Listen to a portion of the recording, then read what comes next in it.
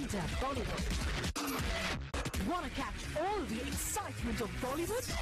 Just log on to zoomtv.in. Talking now about the top five. Yes, indeed. Tonight we're talking about the top five ways to keep the heat in your married life. Whoever said sex dies the day you get married was lying.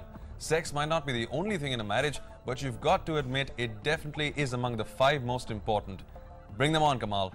And Samira, the top five most popular ways that people have said that have kept their marriage alive are at number five, experimented in bed. Number four, gifts. Number three, romantic dinners. Number two, surprises. And the number one most popular way to keep your marriage alive, holidays. Yes, exotic holidays. Now, this is there. according to you guys, by the way.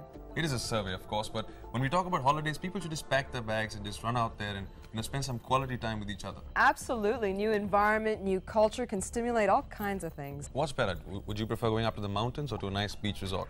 I mean, I'd settle for either or both. Up north, even up in Ladakh and, and down south in Goa, you've got the meat, beach and the mountain thing happening at the same time. Rajasthan, the desert. I mean, how romantic is that? Who needs to go abroad? I mean, there's so much beauty in the country. So, people, use these tips if you're married, and if you're not, use them when you do get married. Till then, just chill out. That's all we have time for tonight.